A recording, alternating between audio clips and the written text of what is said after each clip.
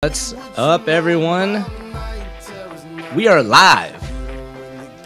Live from the House of Pain at an undisclosed location in Long Beach. This is Brutally Honest, the only show that combines MMA, pop culture, comedy, politics, everything all in one. Tonight's show is so action packed, we're gonna have to jump right into it in a minute, then I'll introduce all of us uh, to you guys. Tonight we have Cris Cyborg calling in mid weight cut for her weigh in tomorrow for Invicta defending her title. We've got her in the middle of her weight cut calling in.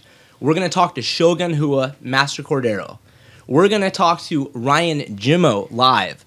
He was released today by the UFC, and he said, I feel like I was released from prison. He's got some words to say. We want to find out where he's going to go next, what his future entails. We're going to talk to Ryan Jimmo as well. And in about 20 minutes, we have an affliction giveaway Tonight's show is sponsored by Affliction. Thank you so much for the awesome clothes. Their new clothing line is incredible. We're not talking about foil and skulls, uh, any crazy type of stuff you're used to. Their new stuff is absolutely amazing. Uh, we're gonna be doing a free giveaway tonight. It's it's extremely comfortable. I'm wearing a pair of the shorts. We love it. So thank you very much, Affliction, for sponsoring the show tonight.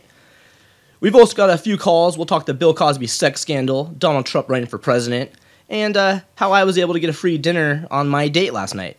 We also have the only undefeated professional uh, little person MMA fighter, Tyler Hulk Hands Freeland. Okay, so let me introduce ourselves. My name is Aaron. I'm the 2010 uh, Mixed Martial Arts uh, Journalist Nominee of the Year. Uh, sorry, I don't know if I got cut off or not. So once again, I'm Aaron Tru, and uh, 2010 Mixed Martial Arts Journalist of the Year nominee. You may recognize me from getting my ass kicked on ESPN or other TV shows by Ronda Rousey, Cris Cyborg for Beast Over Doom, all kinds of crazy stunts and stuff. You've seen me everywhere. My co-host to my right, Jonathan King, editor, lead writer, The Clinch Report. He's a commentator for several MMA promotions around Southern California and he even has a guest role coming up on a television show as an MMA judge. Jonathan, what's up, brother? How's it going, brother? Good to see you. We also have our audio engineer, our technical director, our director of photography, Adrian Gallegos, a man who I know what you're thinking. What qualifications could he possibly have to do any of this stuff? Well, he's recorded probably over 200 videos of mine, uh, several you've seen on TV. He's a cage side photographer, and he also is a Brazilian Jiu Jitsu coach and uh, trains at Shootabox. So we've got an incredible lineup here.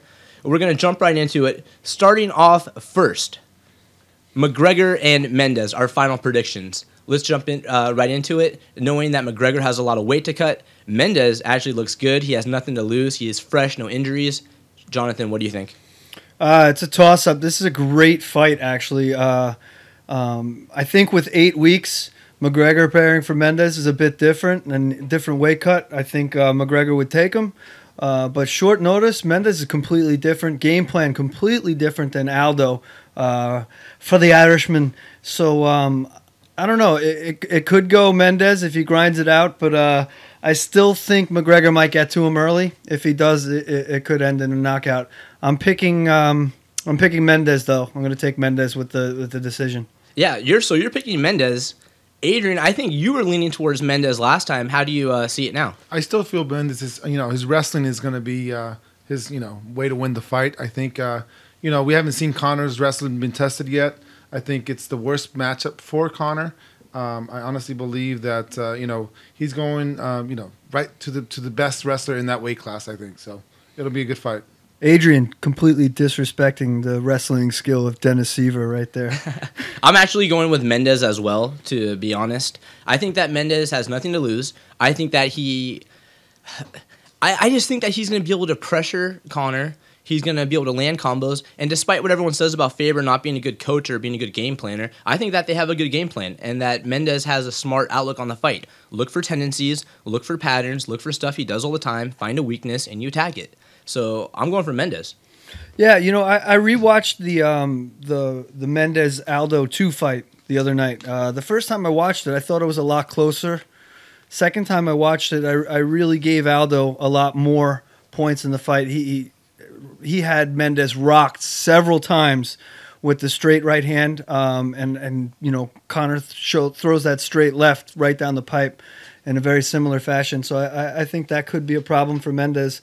But um, you know, I, I- I still think Mendes grinds it out. The experience, I'm going with the experience on this. All right. So people are mentioning that there might be a little bit of oversaturation. Excuse me, a little bit of oversaturation right now with the UFC. I think they have five events, seven maybe counting Fight Pass, but it's five UFC event, events in the, the matter of five or six days. I can't even name who's on each card, how many cards are, what cards there are, other than McGregor. I think a TUF finale, uh, a fight night, and a Fight Pass event. Is it oversaturated? What do you think at home? We'd love to get your participation. We'd love to hear from you. So uh, I think we've got a call coming up. We've got is this Mickey Serial on the phone? Mickey, how are you? Uh, yes, uh, hello, hello, hello. Hi. How you say hello? Hey, uh, thank you for calling in. Uh, we're talking about the oversaturation. Uh, what do you think?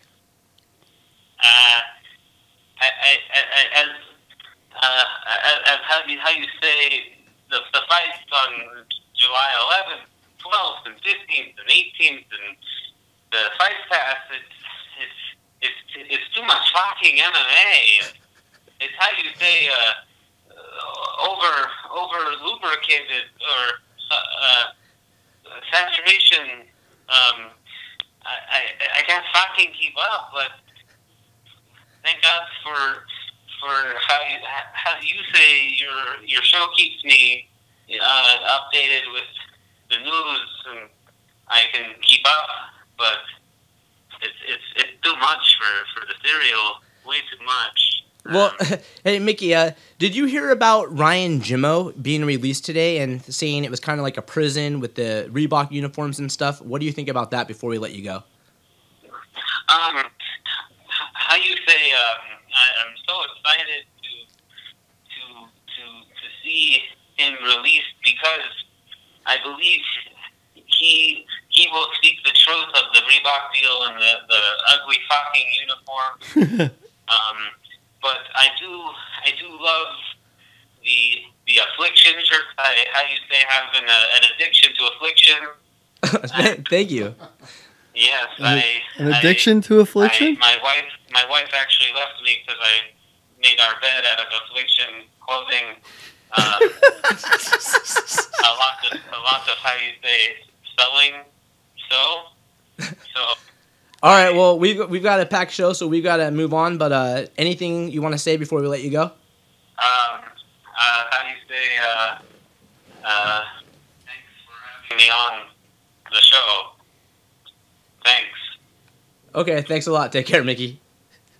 All right, though that was Mickey Serial uh, weighing in with his opinion on the oversaturation. Um, ah, it's funny because you, how can you complain when this gives us a job because it gives us fights to talk about, but at the same time, it's impossible to follow this much MMA. It's too much. I remember when I used to be able to name every fighter on the card, who they had fought in the past, what they're known for, what gym they fight out of, who their coaches and trainers are. And now it's you can't even keep up with what event it is. So, I I mean, I you don't want to.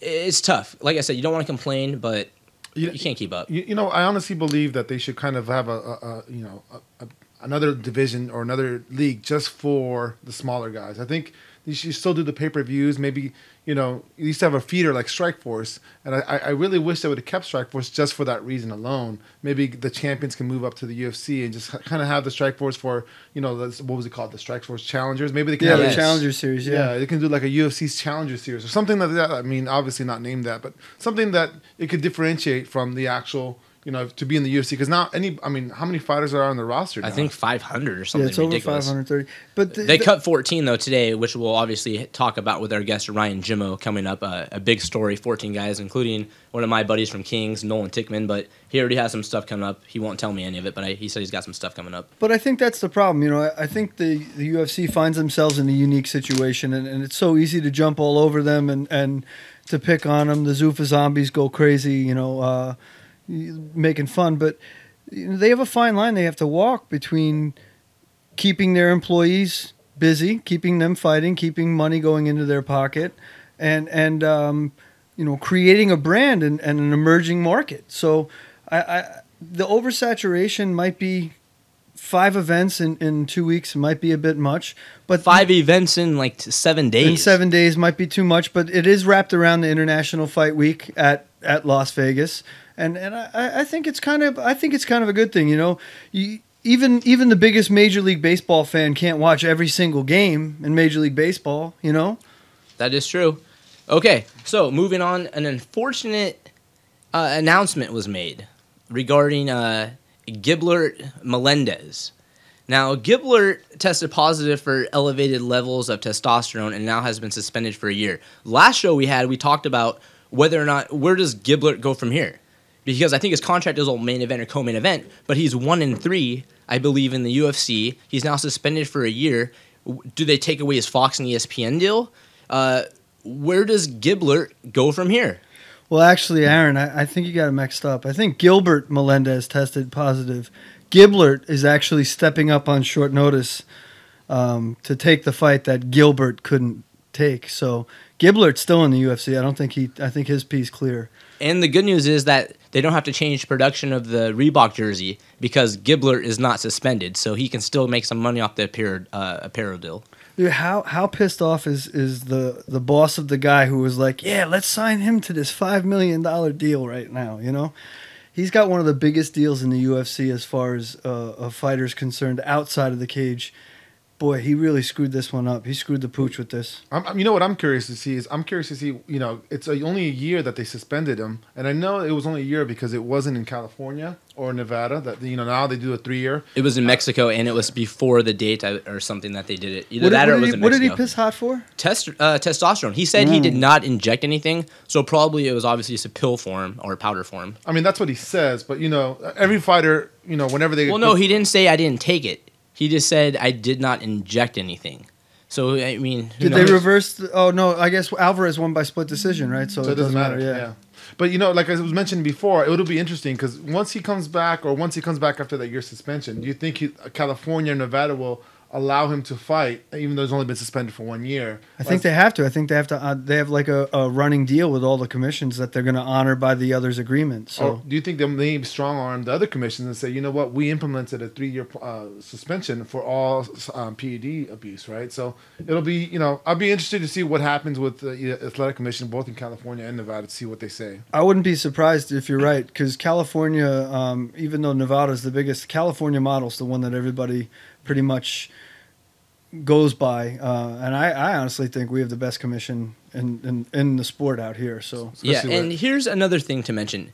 This is a really unfortunate incident just because Gilbert is a really good guy. So and he has you know that huge deal. You hate to see this happen to someone like that. Although if you do the the crime, you do the time. But does that deal? But, does that deal put him the pressure on him to do something like that? Is Well, is that where it no, comes no, from? that's what I'm saying though. What I'm getting into is they say with the new drug testing policy, you're gonna see this happen a lot now. You're gonna see a lot of this happening. Th- Is this gonna be a trend? Right. Are we gonna see a lot of these big name, high profile, main event, co-main event level guys popping for banned substances? I don't know. I, I think maybe. I think it's a good possibility. I think with um, Gilbert's case, for a long time he was putting the suit and tie on, sitting in that Fox studio, and, and you get awful comfortable eating that. Uh, uh, I've been on set a couple times, and you eat that food. It's it's pretty comfortable. You know, you get fat quick. So Apparently, their security sucks. yeah, I wouldn't be surprised if, if if, if I wouldn't be surprised if he was uh, if he was in a situation where he felt like he had to do it because of this huge contract. Um, but I still think you're going to see the lower guys doing it more often than not. The guys that are trying to make a name for themselves. Guys like Gilbert, even if he loses and loses and loses, he's got a, he's, that money's guaranteed, pretty much, isn't it? Yeah, but I wonder if these guys, the higher level guys, had been using really expensive designer drugs Yeah, that just now they can detect. Yeah, they have the money now. You know, they've always had.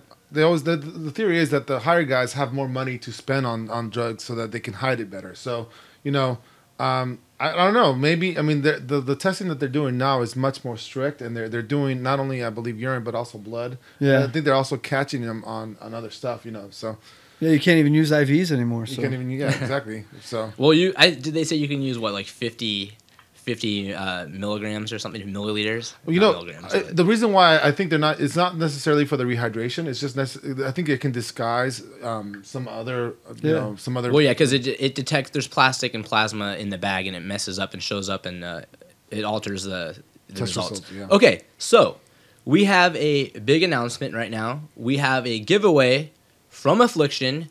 I have a shirt right here. So get ready to call in. Those of you who had emailed me and have the number, What's We're- the number? I'm not giving. It's my cell phone, so it's Can a I call- private can I- thing. You cannot call in right now. Shit. so we have a uh, affliction shirt right here. That's a nice shirt. It is a really nice shirt. No cross, uh, no uh, skulls, no foil. It is extremely comfortable shirt. Awesome, multicolored. Uh, I think it's like pre-shrunk and pre-faded, all that stuff. I love their clothing. I really do. Check this out. What do you think? Yeah, the American Fighter line's pretty tight butthole. I like their stuff. This is nice. Okay. Soft, dude, dude. This is Yeah. nice. So our question is, ready for this? And don't answer. Obviously, don't yell out the answer. Either of you. Okay. All right. all The right, question all is which athlete is the only affliction sponsored athlete to have won a UFC heavy or excuse me, a UFC belt in two weight divisions? I almost messed up the question kind of there, but basically which what fighter has won two has won a UFC belt in two weight divisions and was sponsored by Affliction? Think about it who has ever even won a belt in two divisions and was sponsored by Affliction? So we're going to the first come first serve first call. We have Robert from Las Vegas. Robert, you are on the phone. How are you doing? Oh, hey, what's up, man? How's it going?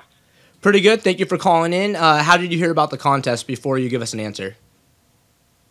Oh, uh, I just I heard about your show on Twitter. All right. Well, thank you very much for uh, listening. Um, so th- before you before you answer, take your time. You get one answer. If you get it wrong, you lose. Here's the question. Last time, which athlete is the only athlete that both won a UFC title in two weight classes and was sponsored by Affliction? Ready? Go. Um, shoot. Uh, it is uh, is it Randy Couture? Randy Couture, ding ding ding, he got it. I thought people would get confused with BJ Penn, but he That's what I- that's but what I thought. yeah, I yeah. thought- But I, I actually asked them at Affliction before I told him what the question was, and I said, just want to confirm that BJ was never sponsored by Affliction. He goes, nope, but they still have the Extreme Couture line. And uh, dude, you just won a brand new Affliction shirt. Nice, awesome, right on, dude. Thank you.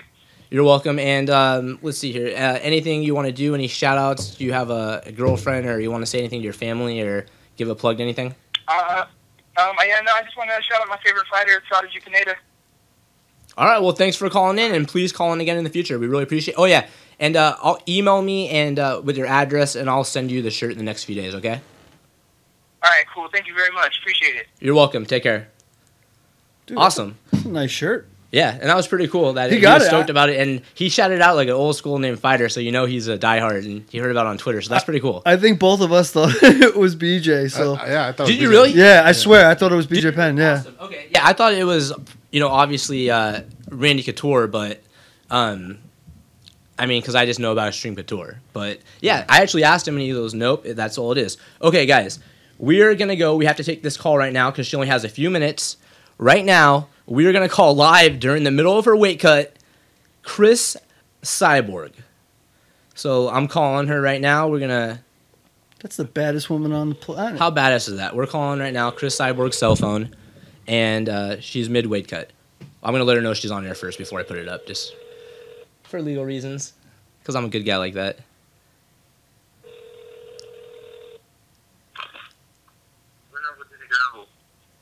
Hi, uh, is Cris there? This is Aaron from the radio show. Hello?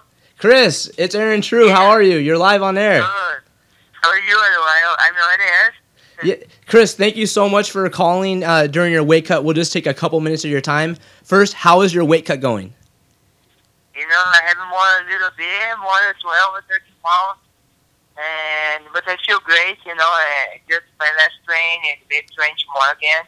And I feel great, I feel great, and I feel ready Thursdays. Tell the fans why they should watch the fight and your prediction for the fight. Hmm? Uh, again? Can Sorry. you can you tell the fans why they should watch the fight and your prediction? And I think it is Invicta now. It's a very special because of being in Las Vegas, and first time Invicta being in Las Vegas, and they have uh, three, uh, two defense belts, uh, two girls from Brazil, one girl from Mexico, three, and me. And I think special card, short, short card, and a great fight. And last question before we uh, ask you uh, just about your sponsors and stuff you have. Um, who do you predict is going to win between Bethe Correia and Ronda Rousey? And how do you think Ronda has improved in the last few years? You know, uh, I'm Brazilian, and of course I will be inside the Bethe, and I think she's a great fighter, and I think she can can knock out Ronda, and I think she's great stand-up. And Ronda Rousey, you know, getting better. She's training, and she's getting better. I think it's an MMA fight, no judo fight, it's not boxing fight. It's a MMA fight, and you know, I think I think both have great great opportunity to win this fight. Well, Cris, uh, we're gonna let you get going because I know you have your weight cut. Thank you so much for letting us talk to you during the middle of a weight cut. That is incredible, and you're a really good friend. I appreciate that. And tell me what sponsors you have and who helped you, your coaches and gyms, and how who helped you get ready for the fight. Uh, I to say thank you for my team, punishment, and I said thank you for for Dragon and I don't know all my sponsors, but Dragon and Studio F Uh, F4, and Grips, and I, I'm not remember everyone. But thanks so much for everybody, and I, I thanks thank you, Adam, for the opportunity to talk to you. I'm sorry now I'm busy, but you know, let's go for one day, come training for me again, and it's all my chance, you know. Thursday will be a great show, show, and for sure I show my my aggressive fight and similar fight. If you want to see the baddest woman on the planet defend her title live on Fight Pass this Thursday, make sure you tune in and watch Cris Cyborg And- Justino. And my birthday, July 9th. Oh, happy birthday! Happy early Birthday. birthday. Nice. And it, it will be on her birthday, so it's going to be a big show, big fight, Yeah. right? All right. Well, thank you so much, Cris. Uh, and good luck with the rest of your weight cut. Okay, thanks so much. Bye. Bye bye. All right. I'm just going to say I hate to toot my own horn. Whoop, whoop. That's pretty badass. Calling Cris during the middle of her weight cut. Her coach answers in Portuguese. I don't know what he said. Probably, who the hell is this random guy calling during the weight cut? I was gonna say, is that badass or is that freaking suicidal? well, that's what people don't realize. They think that uh, that because we do all these crazy videos together, that she hates my guts or we have some kind of beef. We're like actually good buddies. You know, she's a really cool person, and that was awesome. Make sure you watch her fight uh, Thursday night, her birthday. She's one of the most exciting fighters ever. Uh, are you guys looking forward to seeing her fight? yeah, man, I was actually really surprised. She said some nice things about uh, her arch nemesis, Miss Ronda Rousey. There, you know. Uh, That was your question. yeah, yeah, she was she was pretty. Uh, she said she was getting better, and you know, she Well- said it was going to be a good fight. She didn't say Beth was going to walk right through her. or- Well, that's the thing. People don't realize Cris. She doesn't talk trash. She's respectful and pretty humble, believe it or not. I mean, Adrian, you know her pretty well. You guys are both shoot a box background. Now, what do you think about her mannerisms and her? Does she think she's better than anyone? You know, she's never, you know, she's very, very nice. Whenever she sees people, you know, she recognizes, she reaches out to them. She's not, uh, you know, she never tries to man, you know, push you away or, or you know, not now or any of that. She's always been very uh, nice to us. We've gone out, you know, many times to dinner and whatnot. So she seems very genuine. When I've talked to her, um, you know, she's also very, you know, we've talked about this in the past. She's, you know, about weight cutting and whatnot. She she listens to what I have to say sometimes. So she's, you know, she does not uh, big big up anybody. So Well, I'm not going to bring up a specific incident in regards to her weight cutting and your advice to her, Adrian. I'm not going to blame you for that. it wasn't my fault, man. we'll it just was, leave it at that. But yeah, she is awesome. Like it's pretty cool having her as a good friend. And one, this is a real funny story I want to tell real quick. We have ten minutes till Ryan Jimmo is on. By the way, everyone, ten minutes until Ryan Jimmo talks about his release, Nice. the Reebok deal, uh, big name guest, big name topic. Before we get into that, though, before we get into it, um, let's talk about some some current events. Something that's close to your heart, I guess, or that you wanted to talk about. Bill Cosby. I don't really know the full story, but uh, tell me, Jonathan, what's going on with the Bill Cosby thing?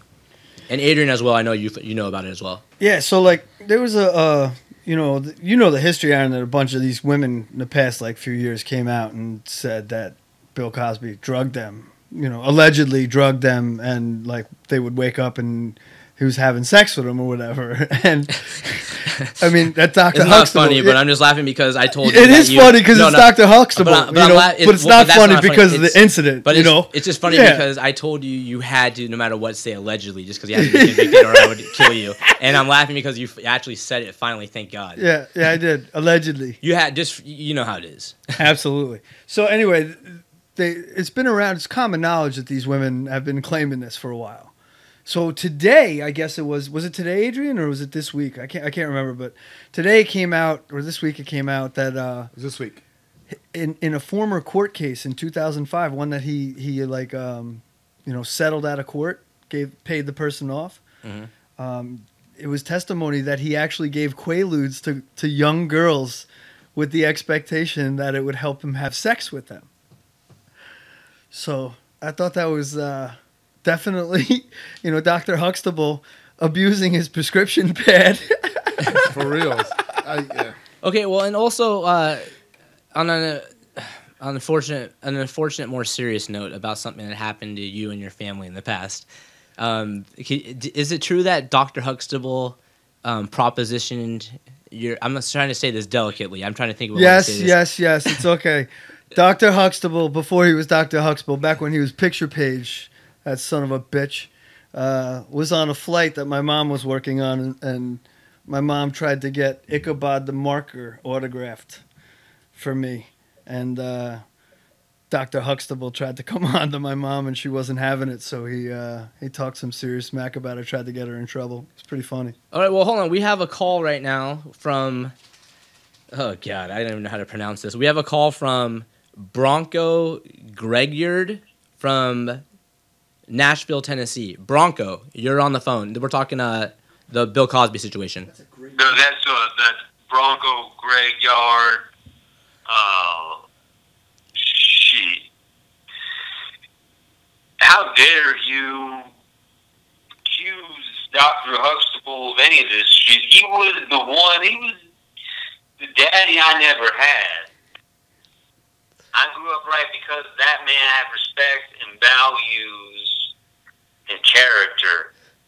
And I won't sit here and hear Dr. Huxtable be disrespected. The pudding box and top man was never convicted of any charges. It's all a bunch of free riding hoes looking for a free ride on the pudding pop express. Allegedly, allegedly. Hey, uh, what about my co-host, his mother? what about his mother claiming that uh, Huxtable hit on her? Shit. I, uh, shit. Uh, he, uh, uh, Dr. Huxtable taught me how to meet girls. He taught every young man out there how to be. It's not funny. It's not funny at all. He taught every young man how to meet girls. You know, shit. If I and if I could get my hands on them Quaaludes today, I want them to party. Isn't his name Bill Cosby? Yeah. All right. Uh, is it a Bronco? Bronco, we're gonna let you go, okay? But thank you so much for calling in, and giving taught your. me how to treat a lady right, and I think Kimbo Slice can play him in some biopic. Biopic. Oh, oh. Bronco Graveyard signing off. Oh, y'all whack. I think we I think we had a You already Kimbo said a he goes, "You all are whack as he hangs up. I just heard Kimbo Slice's name and I just figured I thought we were getting hijacked right there, but I, that was that did not go in the direction I thought I was gonna go in. dude's name was Bronco though. How baller is that? And we got a call from Memphis, Tennessee. Was that from Memphis? Yes. Where was yeah. it? Yeah. Yeah. Oh, I should have asked him how he heard about the show. Dang it. Because I, I'm, it's great getting all this feedback, guys. We have five minutes until Ryan Jimmo goes live. I'm just gonna text him and give him a five minute warning, and uh, give me some of your thoughts just quickly on the 14 fighters being released um, today.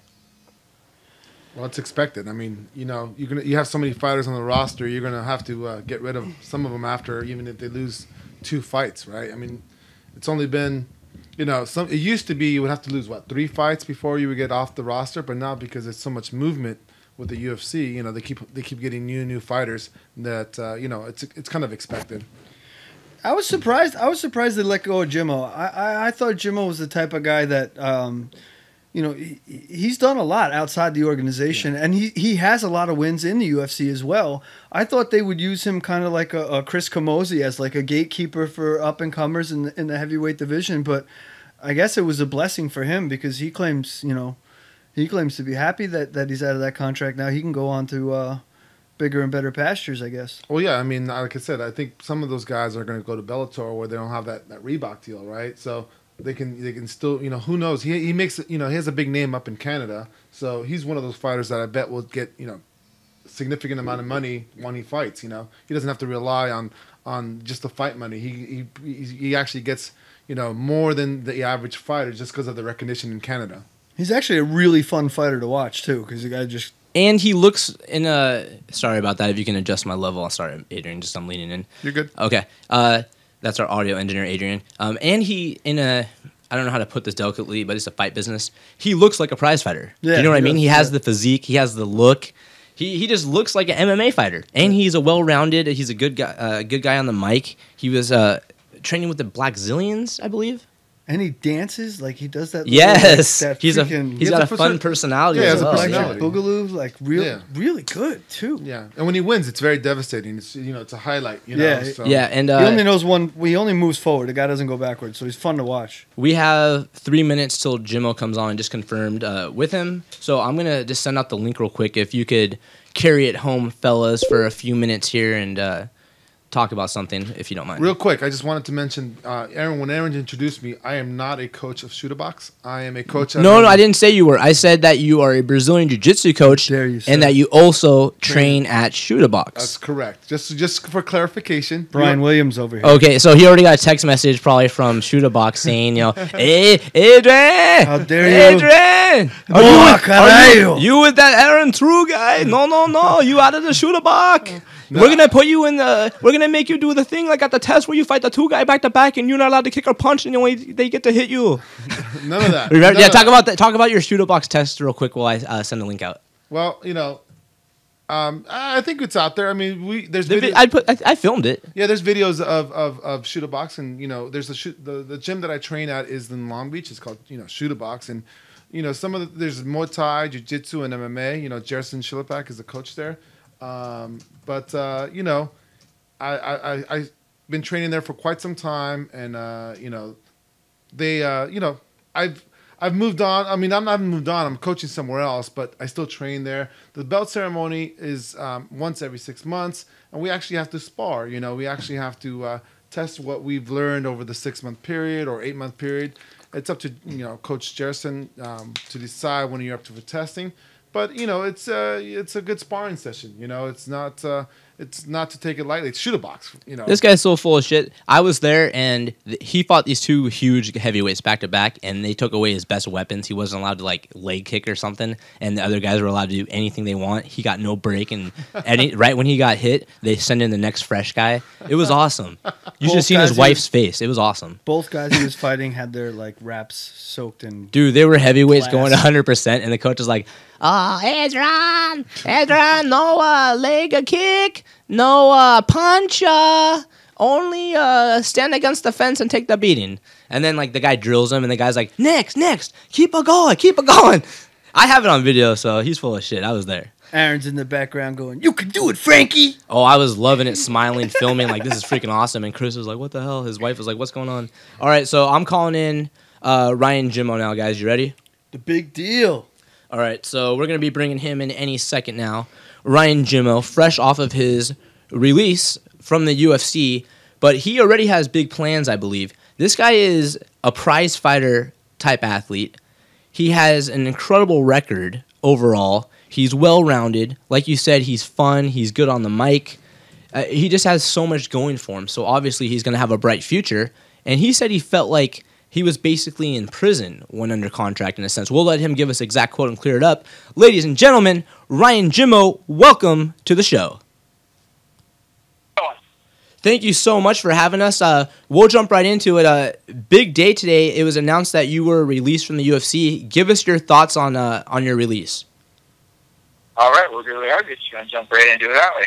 So, uh, yeah. So when I when I uh, found out that was going to be released, it was kind of like a little bit. Uh, I felt like I was kind of trapped in that contract, and it's uh, it's if anyone's ever been familiar with the contract, how the UFC kind of does them up, they're about 24 pages long, and they basically own your soul for eternity.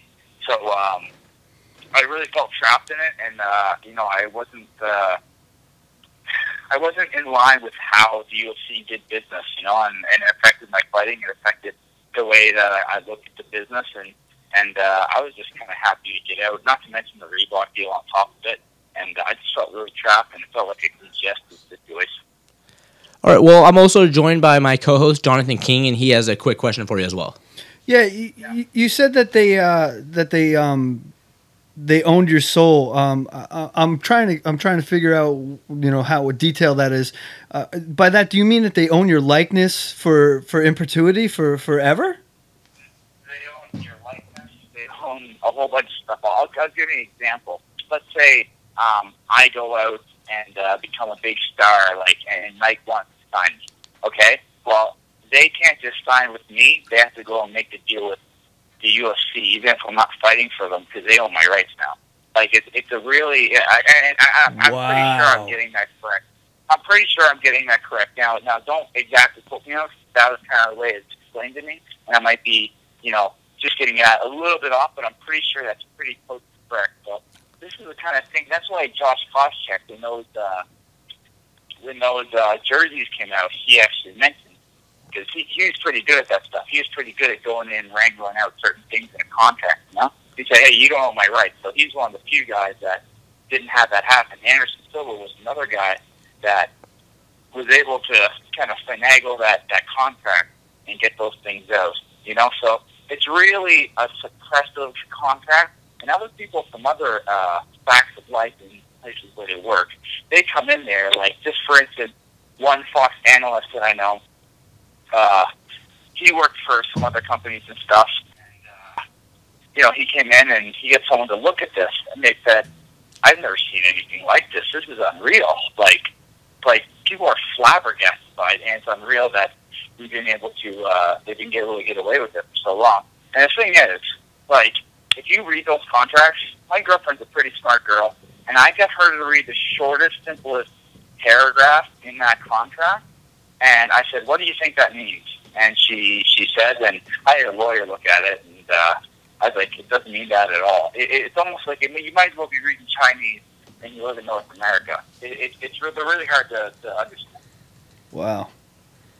All right, and uh, let me ask you another question, Ryan. Um, you're a guy who has an incredible record 19 and 5 19 and 3 until a couple fights ago.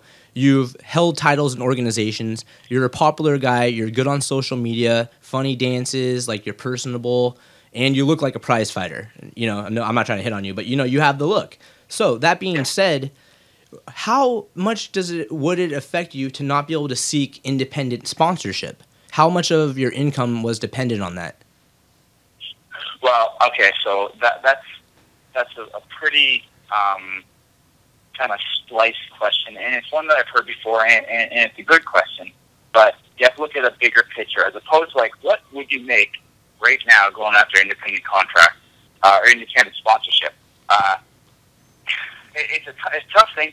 Prior now it's going to be different because the Reebok deals in, and all the other guys went to the other organization. But um, prior to that, UFC had completely crippled that market, right? Like they taxed it right to death, and uh, it, it was really hard for you know companies to afford to pay fighters a significant amount of money. So, um, in an ideal world where the taxes, uh, the, the sponsorship wasn't taxed, and, and it wasn't a crippled society, then you could uh, get a pretty significant amount. Just like when I was fighting MFC, they was on HDNet, and, and MFC wasn't the biggest sponsorship uh, place in the world, but I mean, I was getting thirty grand for sponsorship, and Wow. I had never even come close to that in the UFC. Well, Ryan, let me ask you, where do you go from here? You said you felt like a big kind of burden off your shoulders and a sense of relief, kind of like release from like a prison. Where do you go from here? What opportunities are you gonna um, now take advantage of? Uh, well, I mean, there's there's there's a couple organizations you can go to who uh, I think uh, have a little bit of backing financially. There's there's There's Bellator. I mean, that's the most obvious one that comes right to people's mind. One FC is very, very much surging in Asia, and uh, I heard they pay their fighters very, very well. Um, and then there's World Series as well, who's also becoming more of a major player in the MMA world. And just now, where the environment is, that other guys are starting to surge, like Bellator, like World Series, like One FC. You know, it's like it becomes more of a uh, a competitive market and allows fighters to go around and kind of show their, their their value and show their worth and, and go to the highest bidder and so they don't get artificially suppressed on what they're worth. Ryan, uh, Jonathan King again. Uh, uh, one question for you, and and uh, this one might be a sensitive subject for you, um, but who owns the fastest knockout in the UFC? Because I'm saying I'm saying it's Ryan Jimmo. That's what I'm saying.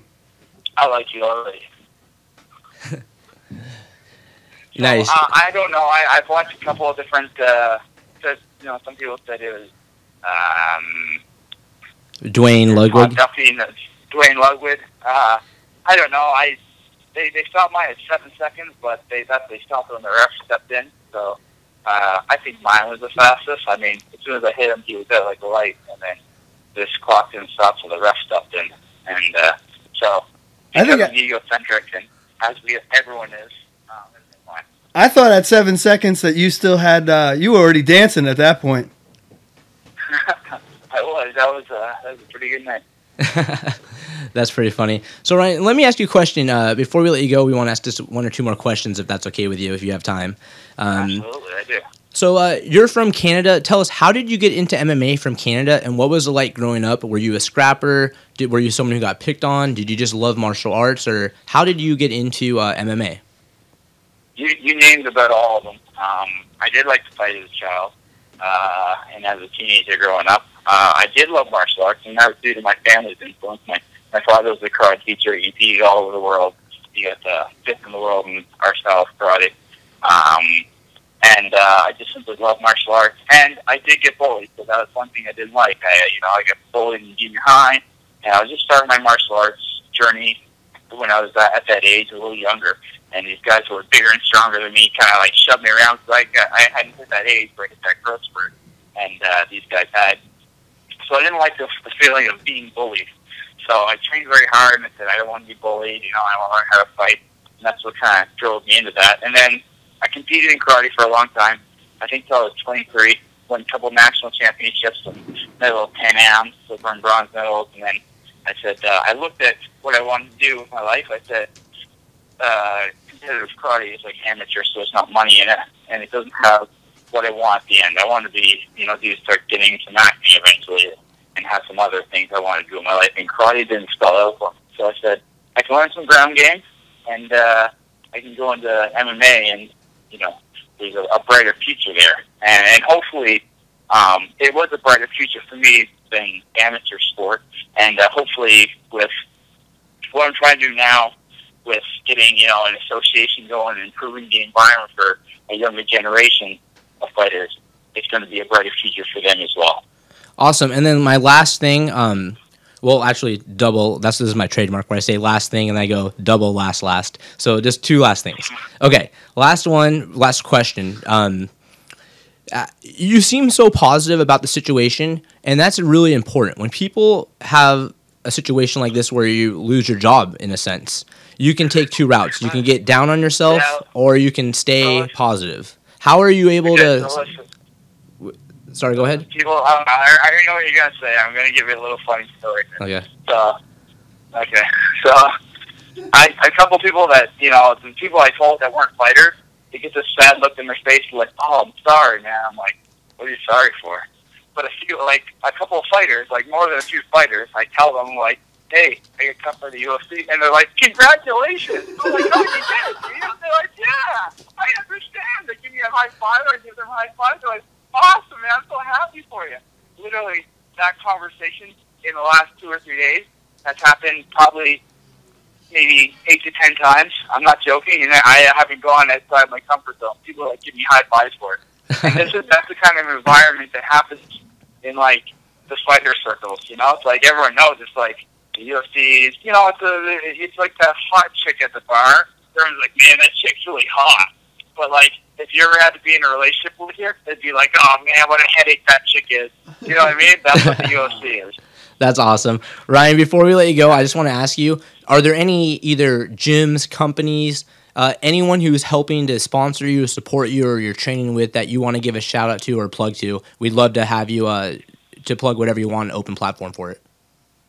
Yeah, uh, so I, I guess Power MMA was my first one. You know, a great group you guys train with.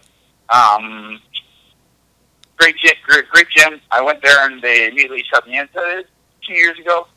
Fantastic gym, and uh, just uh, the mixed martial arts association, fighters association that we're starting to get started up here.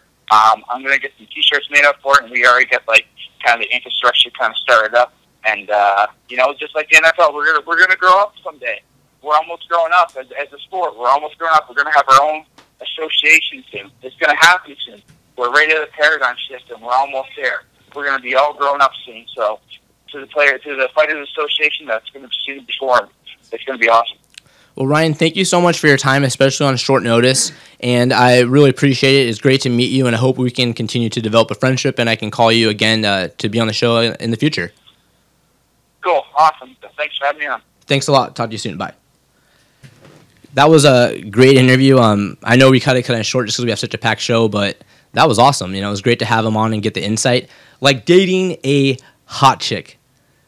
The you know, it, she looks good, but you just don't want to be in a relationship with her. Dude, you, you look at his record. He he's fought he's fought a lot of big guys. You know, a lot He's a big name fighter. He's Wilson legit. Gouveia, Marvin Eastman. Dude even fought one of my all-time favorite kickboxers. I wish I got to talk to him about it, but Rick Roufus, man, the American legend, right there. Mm. Yeah, I wish I would have known you were going to ask. I would have, I would have said we should go for it. But uh, anyways, we have the most badass little person on earth in about seven minutes. Tyler Hulk Hands Freelands. Uh, before we get into that, let's switch topics a little bit.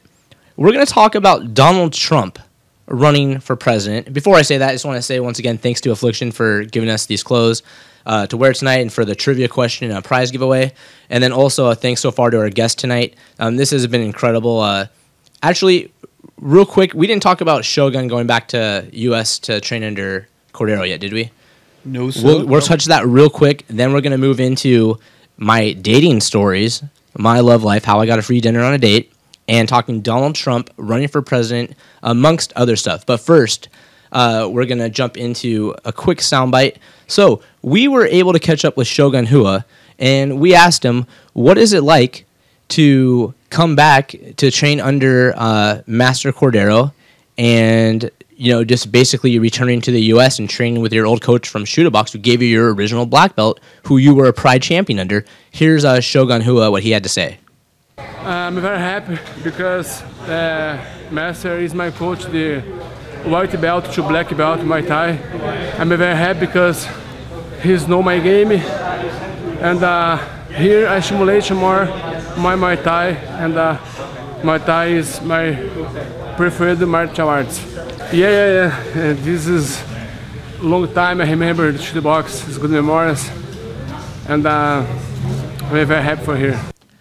It's, it's kind of hard to understand what he's saying, but he's talking about he's very happy to be here, obviously. And Cordeiro was his original Muay Thai coach, and you know he's going back to his roots, which is Muay Thai. We also had a chance to ask him what is his prediction for his second fight against Little Nog. He knocked him out the first time ten years ago. Yes, I'm very happy that uh, Nogueira is, is a good guy, he's a good fighter. I'm very happy for this fight. He's very good, he's athletic fighter.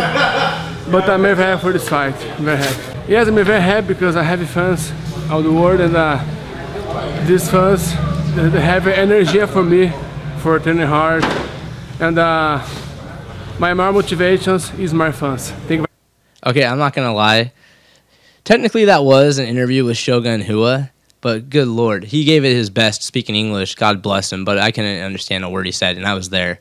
But um, God He's very bless you. I love Shogun though. That was so cool just to talk to him. Even he tried his best. God bless him. Real quick though, uh, we're gonna get one more soundbite from Master Rafael Cordeiro, coach of current UFC champion Fabricio Werdum, uh, lightweight champion Rafael Dos Anjos, many other guys. We're just gonna real quick hear what he has to say about uh, Shogun returning back to train with him. I see the same way the first one. Big Little Nog is such a good guy, such a good fighter, but Shogun is prepared for everything. He his game, he developed a lot of his game here in the United States. We want to prepare him for war, and uh, for sure it's going to be a tremendous fight. But we believe Shogun can beat Nogueira again. When Cordeiro says we're ready for war, this guy's not kidding. He's he's given from you know white to black pretty much, or at least given a black belt to Anderson Silva, Wanderlei Silva, Shogun Rua, Fabricio Werdum. I mean, this guy is no joke. Pele. I mean, if he says the guy's ready for war, what do you think? Do you think Shogun's back?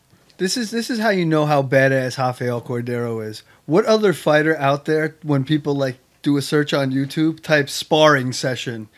His sparring sessions are legendary. If you watch, dude, he is a living legend. As far as I'm concerned, if you're coming to California to learn how to strike, there's one guy you go to. Yeah, I was there uh, filming, and Shogun was sparring, and he didn't let any other cameras in the gym. Even UFC, uh, UFC's embedded show or whatever TV show, Countdown show, was there filming, and he was like, "Yeah, you know, kind of don't film the sparring." And he told me, "Yeah, no problem, film the sparring, but I know you, you won't put it out there." But I got to watch it, so I'm not releasing the video, but I got to see it. Good lord, when he he just you know kind of plays around with the guy it's kind of easy no break a skin they weren't going crazy hard but then the guy will like land a jab or something or hit him and then you just see shogun when he starts going like this you know when he does that thing and then you're just like oh yeah here we go. He loads up and just the noise just the whoosh he just drills the guy whoosh. I mean he hits like a freaking like a truck it's unbelievable. So that was pretty cool uh, who knows? I honestly, I think he's faster than Little Nog. I think he can hit him on the chin and knock him out. Uh, Little Nog was on the Olympic boxing team, though. I thought so. His hands are good, or he was an alternate. He was. He has some boxing background. I know that for a fact. So his, his hands are deceptively good. You know, deceptively good. But Yeah. I, I don't know. And he might- he might be able to outpoint him, but I, I don't see him. I don't see him knocking out Shogun. He might be able to TKO him with ground strikes, but I don't see Little Nog having one punch home run hitter. I mean, how is Quitter. Little Nog's uh, chin? You know, how is it questionable? You know, I'm, I don't know. I think you'd be surprised. The other thing, Little Nog, Little Nog's been in the UFC for like nine years, and I think this is his what third fight. The guy fights like every three and a half years. Yeah. Well, yeah. I mean, his arm got broken in half by Frank Mir. Wasn't that Big Nog? I know. I was seeing if anyone would catch that. His he has a twin brother at heavyweight. I'm obviously trolling you guys. Okay, quick shout out, real quick. We have a lot of people watching online saying it looks great, sounds great. I want to give a shout out to my friend Janet watching, and also to Tough Enough. I have a message from Tough Enough saying I spy the Tough Enough belt right here. What's up, Jeff? Uh, one of my best buddies. Um, man, I'd love to have you call in sometime and tell some stories, uh, share some stuff about meeting Chuck Norris. Just you know, a lot of fun fight memories we've had over the years. So thanks, guys. Uh, coming up in two minutes, we have Tyler Hulk Hands Freeland, the only professional undefeated MMA uh, little person. Professional fighter in the world. I know that came out crazy, but you know what I'm getting at. We have a professional fighter that's a little person, and he's going to be talking about little people awareness and just about overcoming obstacles and what people would think as a disability, how it wasn't for him. So I- I'm really excited. Tyler's one of my good buddies. Do you are you guys have any friends uh, that are LPs that are little people? Not off the top of my head.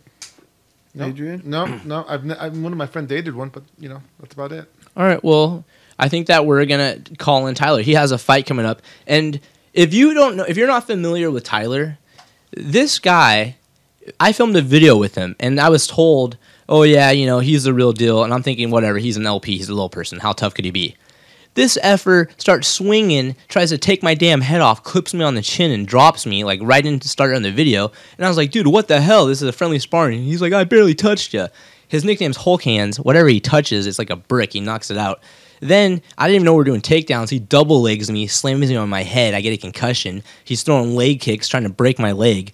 I mean, this guy is no joke. His last fight, just a few months ago, he throws an overhand right, drills the guy, then gets a double leg, pounds the crap out of the guy. They stop the fight. He gets a TKO like two minutes into the first round.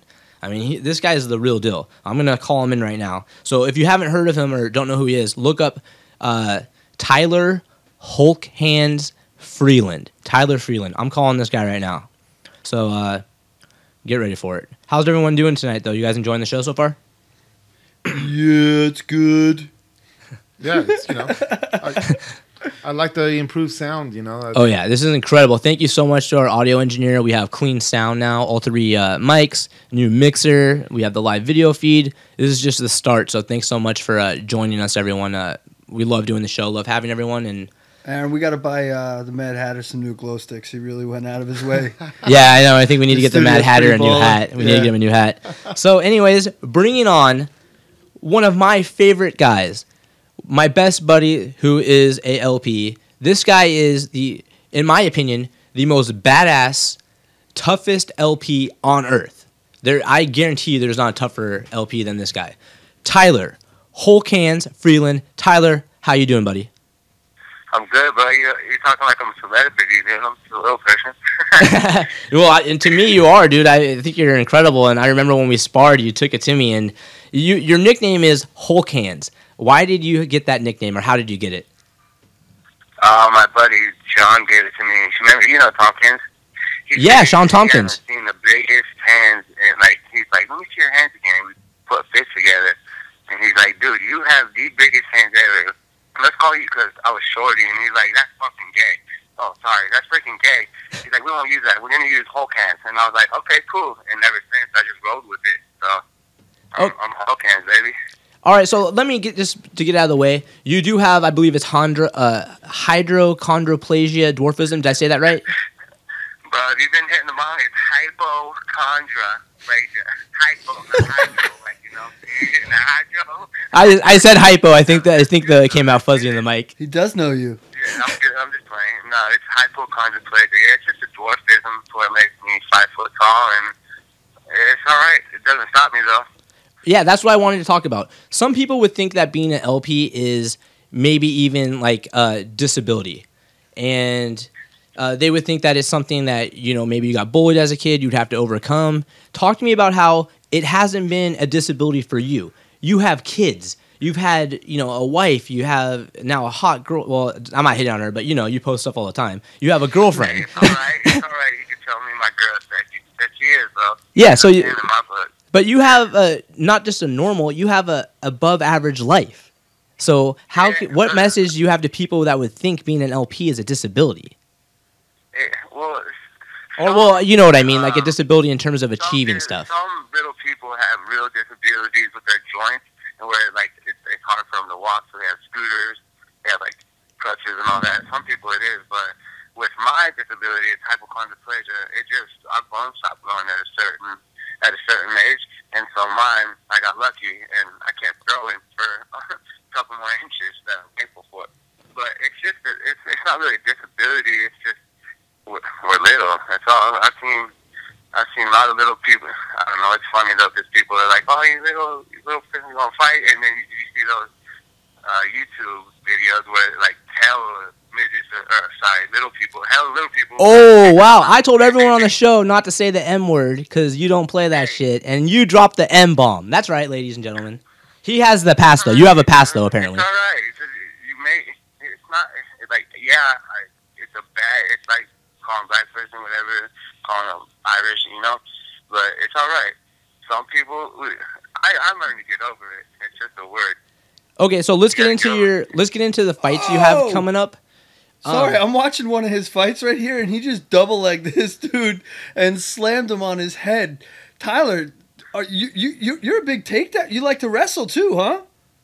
Yeah, well, I grew up wrestling. That's where I started because, like Aaron was saying, I'll tell you a little something. I got bullied a lot as a kid, and growing up, oh, you can't be this. You're, you're only this tall. You can, you, and so I got into wrestling. My, the wrestling coach came in. He's like, hey, you've been getting bullied. Why don't you come try out for wrestling? So I went and tried out. I made the junior varsity team, and then in ninth grade, I beat I beat the senior for the varsity spot, and ever since then, I've been just kicking butt and just I'm a two-time state runner-up, and then I'm a 1999 uh, Idaho, Idaho freestyle wrestling champion. So it, it it helps out being in wrestling. That's where I got it. I told you he was legit. I was telling these guys before we brought you on. I was like, you got to check out his YouTube videos. So your last fight, you drilled the guy with an overhand right, double legged him, TKO, pounded him out. Uh, tell me about that fight. Even though I just recapped it amazingly because I'm a professional. Tell us about that fight, and then tell me about your fight coming up, when it is, and where you're fighting. Because I think it's in San Diego. I want to try to check it out.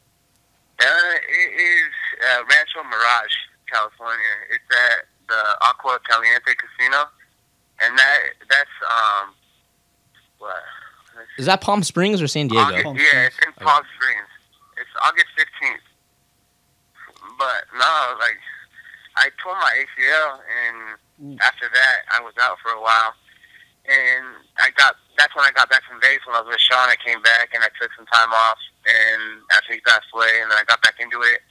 Then I tore my ACL, and then I I came back, trained, fought that fought that kid in California, and beat him in like a minute and something. And then now I'm here, undefeated, going to be fighting August 15th in California. Hey Tyler, we have someone calling in. Do you mind if we take a call real quick? Yeah, I don't mind. Okay, cool. Uh, we have. Oh, geez, is this? We have, I think, Mick the nerd on the line. Mick, what's up? Hey, hey guys, this is Mick the Nerd here, and happy with Howard Stern being off the radio. I'm happy you guys are on. I'm a big fan. I've been recording all your shows. well, there is there a question you have for uh, Tyler? Uh, Tyler, I am a, I am a, a huge fan. I can't hear very well, bro. Okay, hold on. Um, here, hold on. Let me figure out a way to try to get the sound better for you. Go ahead, uh, Mick.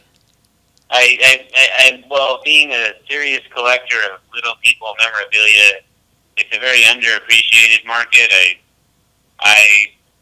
I um, would would really like to offer one of my most collectible prize. Uh, Wait, Tyler, can you Tyler, can you hear him? Okay. Uh, not really, bro. I just hear the. Oh, okay. Hey, sorry, uh, Mick. Can you just uh, repeat it to me. Tell. Tell Well, tell, tell just tell Tyler that I'm interested in trading my little uh, Webster jacket that he wore when Michael Jackson held him. If in return I could, you know, get a pair of his fight shorts, glove, and mouthpiece from his next fight. I'm not asking much, just interesting trades. Wait, wait. wait. Tyler? Did you hear what he's offering? What trade he's offering? No, what's the offer? Okay, he's a collector. His name is Mick the Nerd, and he's a collector of little people sports memorabilia. It's a growing market apparently, and he's uh-huh. offering to trade. If I believe it or not, he's offering to trade the jacket that Webster was wearing in the picture where Michael Jackson's carrying him around in exchange for your next fight, the signed shorts and gloves Hey, tell him it's sold. And mouthpiece. and mouthpiece. He says he goes and mouthpiece. He wants a And mouthpiece now, too. you really want, you want saliva, homeboy?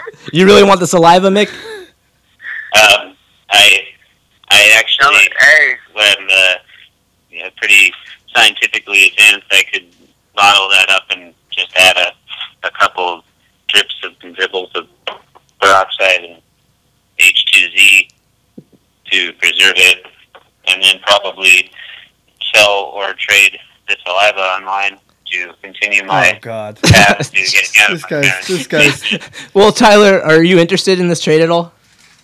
if it's legit, bro, and you say it is, yeah. Because I, you know, there's a lot of people out there that say, but I'm good. Yeah, I, I got to talk to my manager, but I'm pretty sure Corey Beeson, he'll be, he'll be, he'll be cool with it because that's what we try to do. We try to like help people out, get myself out. You know, I'm down with it.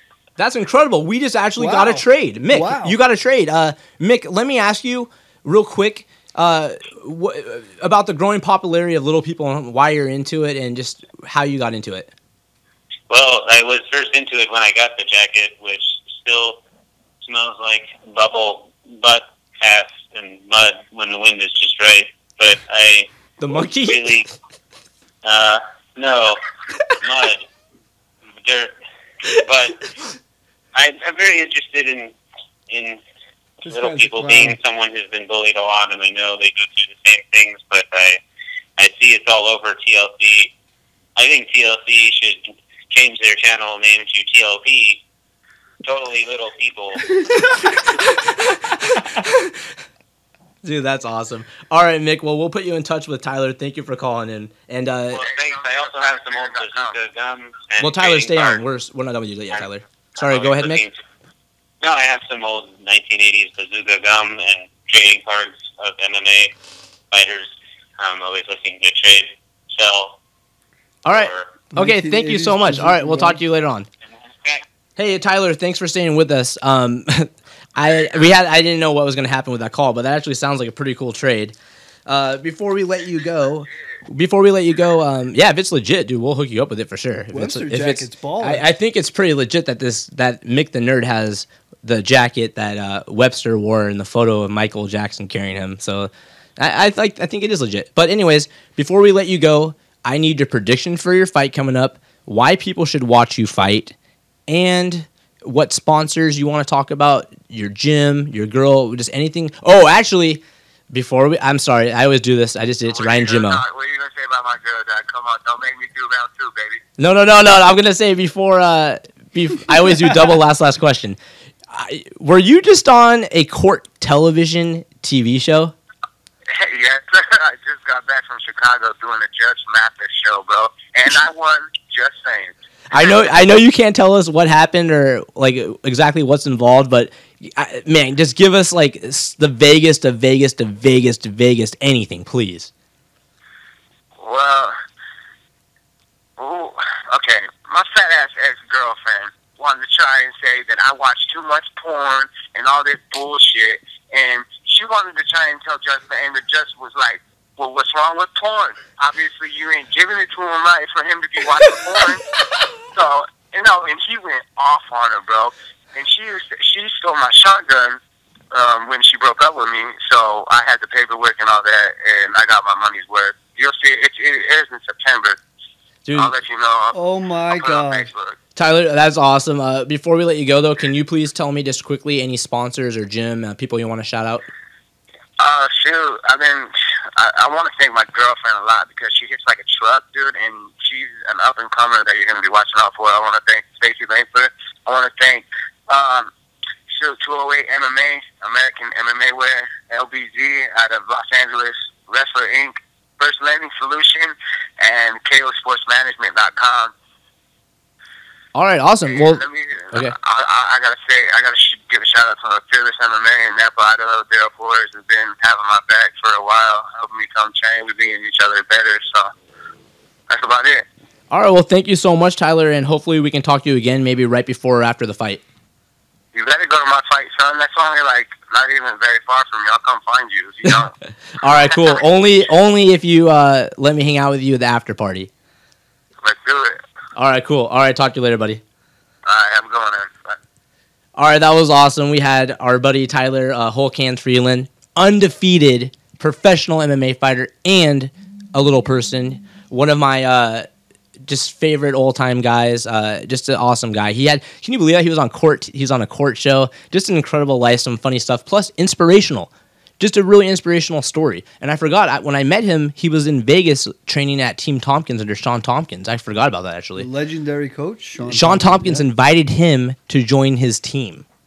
Name another little person that Shawn Tompkins is gonna call and waste his time inviting to his camp to train. I mean, this guy. That's what I'm saying. He's legit. Check him out. Yeah, and he doesn't even he fights at 145 too. It's not even like he fights at He's fought bigger. He's fought at like 160 or some crazy weights before. But now he's actually as a professional cutting and doing like he's only fighting guys at his weight class. They're still obviously like a foot taller, but uh, yeah, he's fought some big fellas. I think he fought like 180 before, something crazy.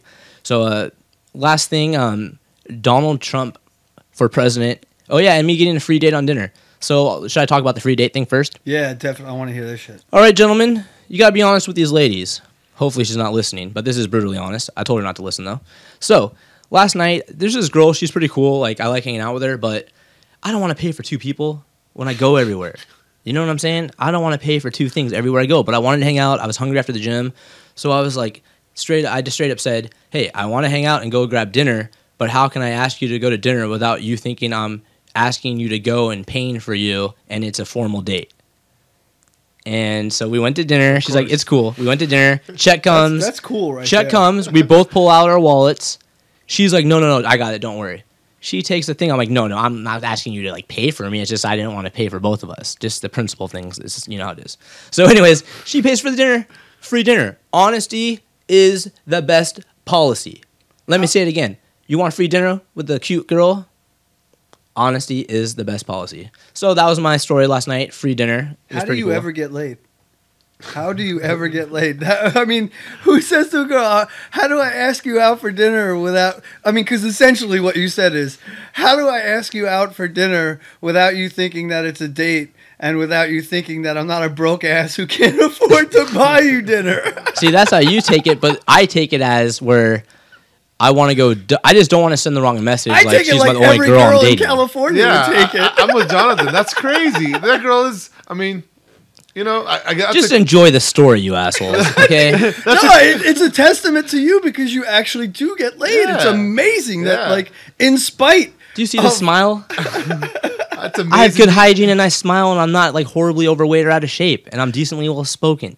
Well, that's a keeper Hey, for the night. That's for sure. go. That's a keeper for the night. I guess night. that explains it. You set the standard high, huh? Oh God, I should have never posted this link on Facebook because I already know there's girls listening right now. But anyways, so moving on to Donald Trump, but I'm gonna try to share a story Oh, about this girls every episode. Moving on to Trump, tell us uh, what do you think about the election, uh, Jonathan? Um, I know that you are someone who supports everyone of every ethnicity, so you're a big Trump fan, right? Oh, huge, huge fan. I mean, oh God, it's it's it's literally like watching a train wreck.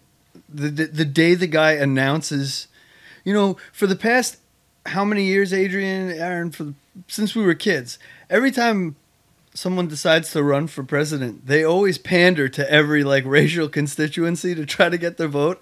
And one of the biggest ones, like the Latino vote, you know? So to me, like the funniest thing is basically he's like, I'm running for president. Mexicans are rapists. you know, I, I, I can see it now. He's going to get the Donald Sterling um, effect. You know, he's going to totally, uh, you know, everybody. I think he just lost his last the uh, the last, Univision or something. Yeah. And Adrian, uh, people don't know because he looks Armenian and he's from the Valley, but he is technically. You want to talk about real Hispanics? I went to his wedding. His parents are straight off the boat wearing like a boat, Hey, hey, one of those. It's not the boat. they're it's straight off the river, off the wall. Okay, it's not the boat. We don't we don't use boats in Mexico. His dad was wearing one of those like you, you know those turquoise like stones with the oh, the rope bolo tie? Yes. No way. And they had a mariachi Cowboy band. hat? Yes, yes. course. And they had a Point- mariachi pointed, band. Like pointed boots, of course, gaucho boots. Not only pointy boots, but you know they probably used some extinct animal out of Mexico for that. I thought Chupacabra boots. I went from I literally thought he, he was trolling me and not Mexican, Hispanic descent at all. To when I met his parents and sisters and the mariachi band came out, I was shocked.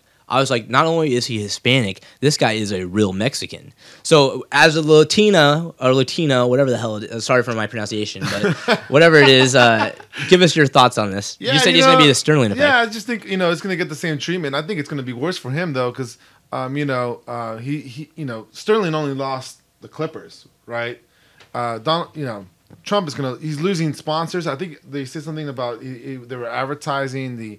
Um, some sort of is it the PGA golf or something? Right, that yeah. He was going to lose that as well. Miss America, like you said. Well, obviously, the, the, yeah, the Miss America. I, I I think it's gonna, you know, you know, that's the crazy part of people that people don't know about Donald Trump. I think he was broke about 15 years ago. Yeah, he got all the shit back. Yeah. Yeah, he was broke not too long ago. you know? Actually, he sued the people that said he was broke. right, right. Remember, he Yeah. like he sued the people that said he was broke. How dare you? So yeah, you know, that was that's pretty good. How dare Yeah. you? Yeah, yeah, and spot on. but Yeah. but one positive or one of many positives that I do see from this or is the attention it's bringing to the debate. A lot of people, including myself, probably wouldn't care as much, but he's bringing attention not just to himself but to everyone else. Because when you when I tune in, if he's in the debate, I'm not just listening to him make allegedly possibly make a mockery of things or possibly win the debate. Who knows? I'm gonna also tune into everyone else's platform. Right. So by default, I'm listening to X, Y, and Z because of Donald Trump. The thing that the thing that drives me crazy is like, how can you say I'm going to run for presidency? I'm going to run for presidency. How can you say I'm going to run for president, and then the very next statement you make that follows that guarantees that you have absolutely no chance of winning it? That's the thing that drives me crazy. Like, it, the only way it could have been worse if it came out and said, "I'm running for president. Women can't do anything but cook and clean." I mean that that's literally the only other way that he could have ensured his way, or came out and said like drop the n bomb in his speech or something like that. You know? Well, you're It's a New horrible. Yorker. You're you're a New Yorker. Yeah, and I you're have, not I a have Trump Puerto guy. Rican family too, man. I, You're not a Trump guy. listen, dude, the guy, he's a real estate broker. You know, uh, he he he had uh, good hotels, but look look what happened in in in um, uh, Atlantic City when Atlantic City started falling apart. He's no savior. He tucked tail and run. Get my names off those buildings. How dare you? If I. You know, he didn't save the city, come in and say, "Here's my money. Let's reinfuse and Oh, bring back the building of uh, Atlantic City." Go look what Atlantic City looks like right now. His name, you can see the shadow of his name on like 300 buildings there. The guy's a freaking leech. All he does is suck the life out of shit.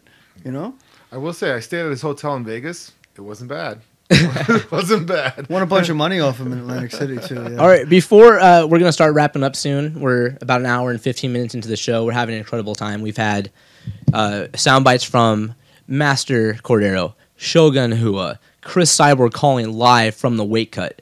We had uh, Tyler Hulk Hands Freeland. We had the Bill Cosby uh, debate. We've talked about Donald Trump. We've talked about women. I mean, really, we talked about Gilbert, aka Giblet. Giblet. The cheater. yeah, Melendez getting popped. Well, your words, not mine, just because I'm afraid of all these people. and rightfully so. Oh, so anyways, my Nick Diaz story. Um, Adrian was not at this one. This was before we we uh, started working together. This was like the this was the first fight I ever went to. Miesha Tate's first Strikeforce fight. Giblet Melendez versus Josh Thomson won Strikeforce. Giblet lost a strike, uh, lost a decision. I did the post fight interview in the locker room. As I'm waiting outside the locker room, Nick Diaz walks up, and this is like nine years, eight nine years ago. When Nick Diaz walks up, and I go, "Hey Nick, what's up? How's it going?" He goes, "How the fuck you think it's going? My fucking homie just lost a fight." And I was like, I kind of got nervous, and I go, "Uh, can I get a quick interview?" And he goes, "Fuck no." And then I don't know why I panicked. I don't know why I did this, and I said, "Can I get a quick photo?" and he goes, he looks at me and starts doing like the headbutt, like, "Man, are you motherfucking serious?" And guess who breaks it up? Who? Josh Gross. Oh my God, from ESPN. I have a picture. Yep, Josh Gross. He's a good dude. I like Josh. Yeah, he doesn't like me, I think, at all, but uh, at all. And one time I made well, a he funny saved you that joke. one time. Yeah, but then remember I made a joke. We were the room directly next door to him at, at uh, the media. We were the we had the hotel room next door to him directly. And when we were checking in, we were walking into the room same time. And I jokingly said, "Hey, uh, if it's raging and there's a bunch of smoke and like filling out and alcohol bottles everywhere, give me a courtesy knock before you call security, brother." yeah, as a joke. Isn't that funny? He looks at me just like, Maybe he's just a straight edge. Maybe he does like you. but it was a joke. yeah. Ma- Who knows? But you're right, he did save me, and I think he's obviously he's one of the top authorities in all of mixed martial arts. He's a brilliant writer. Yeah, he's, he's actually one of the one of the writers that's a good writer. and he's the Yeah. one of the people who he doesn't give a damn. Well, uh, uh, public opinion wise, he doesn't give a damn about what you think about him. He's a journalist. Yeah, he's, Right. he's journalist his- first. yeah, Schooled exactly. guy too. He's not a you know he knows his stuff and he's he's well learned. He's not a fly by night guy and, and he's not lucky that he's in the situation. He's Yeah. in. He's. Exactly. So, anyways, though, uh, every other time I've seen Nick Diaz since then, he couldn't be nicer. He he'll take the time to talk, you know, shake your hand, say hi. I think it's literally that's why people love Nick Diaz or they hate him. He's down for his guys no matter what, ride or die. When Giblet lost, he lost, and he took it like that. So when I was like, "Hey, what's up?" He's like, "What the fuck you think's up? My boy just lost the fight." Yeah. And he's always But scary. but you gotta respect that though. Yeah. Because that's the type of guy you want that to have your back. Right. So Yeah. as much as he was like, "What the f," you know, that's that's the guy I want to have my back. Yeah, when, So when we saw him at Invicta, at the last one. Oh, him, yeah. yeah, he was super chill with Yeah. uh, with Joe. Joe Joe, Schilling, Schilling yeah, was there. We got a couple interviews. Yeah, I mean, he was you know by the bar. I think he, he was buying rounds. I don't know what was going on, but you know everybody was around him. He was pretty laid back, joking, and actually smiling. he know? reminds me of Mike Tyson, where if you can get him comfortable and talking, he people say, "Oh, this guy is not well educated or smart." He's a genius right. and somewhat of a historian in terms of martial arts and fighting. Of course. So if you can get him to open up and talk to you about fighting, like say, "Hey, can you break down this fight for me?" and he gets into it, he he's he sees the fight differently. Like you know what I mean, the angles and It's just a cool different perspective. Yeah. Exactly. Yeah. Yeah, anyone that says Tyson's stupid, just tell him to ask him to break down the Queensberry rules, and he'll tell you the history of boxing, the history of the Queensberry rules, about gentlemen fighting. The guy's well learned in his in his sport. Yeah. So, uh, is there anything else uh, that you guys want to touch on before we wrap up here? We talked about McGregor versus Mendes. I think we all agree. I think we all think Mendes is going to take this. But when Mendes does take it, what happens to the Conor McGregor uh, train? They could match him up with uh, with Frankie. I was actually. But how's he? He can't beat Frankie if he's going to lose to Mendes. Frankie's Well, it just going to depends- it- human blanket him. It just depends on how he loses, right? Yeah, exactly. If Mendes if Mendes uh, beats him, right, by just wrestling and taking him down and whatnot, you know what's expected. Uh, you know, it's still it's still you can still promote the fight as with Frankie Edgar because Frankie Edgar is going to be more you know more of a boxing you know be more of a boxing versus karate type of fight you know so um, you know I still would watch it I you know I'd like to see McGregor versus Faber, kind of, to be honest. I Oh wish Faber God. was in shape, like in regular. You know, well, Faber's talking a lot of trash right now yeah, I don't think Faber's rest. I don't know if Faber could take him down, but I just think it's stylistically that they're so different that they're that it's just he's a horrible matchup for McGregor. McGregor, excuse me, is a horrible matchup for Faber Those because of the straight- Right. distance. those straight but punches and Faber's distance, yeah. quickness, I would- I just would like to see it. You know, I, I just think it would be. Faber's one of the best, still one of the best athletes in, in, in all of the UFC. I just don't think his uh, striking or his stand up has improved with his that well. I think it's pretty much stayed uh, academic at best. Okay, so closing statements, last things. We want to once again thank Affliction for these awesome clothes and for sponsoring the giveaway tonight. We were able to give a fan an incredible free shirt. Uh, got to look good. Our set looked good. Uh, the Affliction shirt behind you. Uh, thank you again so much for sponsoring the show. Thank you to all our guests. Thank you, Cris Cyborg. Thank you, Ryan Jimmo. Thank you, Tyler Hulk Hands Freeland. To all the callers, everyone who participated, our sound and audio engineer, because they're different sound and audio. I blew it again. our sound and video engineer, Adrian the Mad Hatter Gallegos. My co host from the Clinch Report. You actually did want to say something you told me before. Yeah, um, this weekend, uh, actually Friday night in uh, Studio City, um, Lights Out Promotions and Bass Boxing is putting on a, a, a great event. We got a bunch of pro MMA, I think 13 or 14 fights um, at the Sportsman's Lodge. And will you be commentating? Uh, I won't be commentating, but I will be. Uh, I will be running media, and I will be doing interviews All right, cool. backstage. So it, it, but it's some of the best young pros: Thor Skancke, um, Daniel Clark, a lot of uh, Ronda Rousey's teammates and training partners, Alfred Khashakyan, Vardan Cholinian. They'll they'll all be fighting. Ronda will probably be there. It'll be, it'll be a huge. Well, all that's M- allegedly. We're not. allegedly. Don't get me into allegedly. No, there'll be there'll be a lot of uh, uh you know the, Armenians the She'll promo- probably be in Vegas, won't she? the promoters actually uh, do a pretty good job. Of Like any of us know her schedule. yeah right But anyway, cares? Just cancel the show now. Yeah, just shoot us. Yeah, I've been wanting to go to, like- I bet you her like publicist or someone like yeah right like they give a fuck enough to watch the show.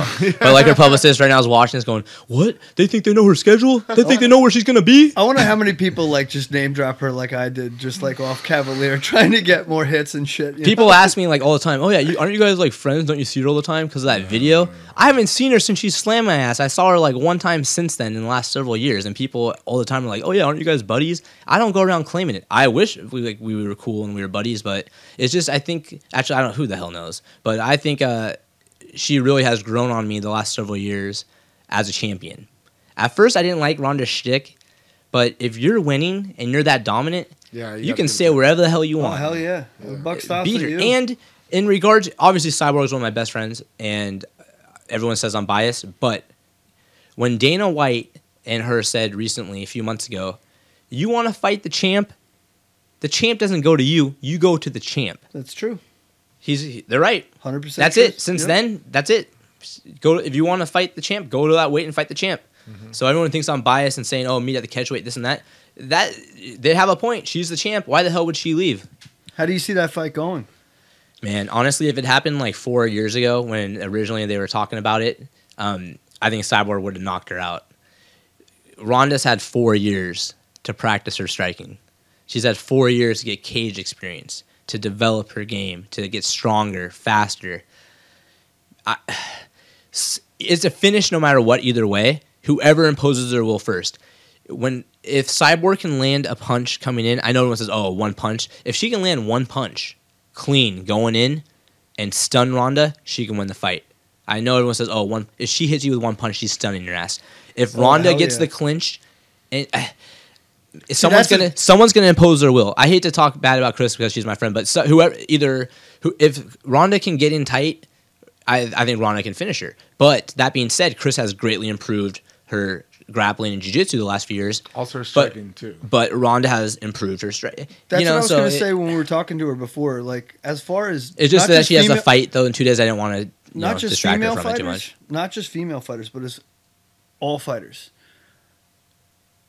Going back to the Strikeforce days, I always thought Cyborg had some of the nastiest clinch work I have ever seen, male or female. Cordeiro style Brazil. I mean, just box. ruthless, Judo just absolutely ruthless. Yeah, I've been now, there. and and that's like always been like, wow, she can get someone in the clinch, they're done.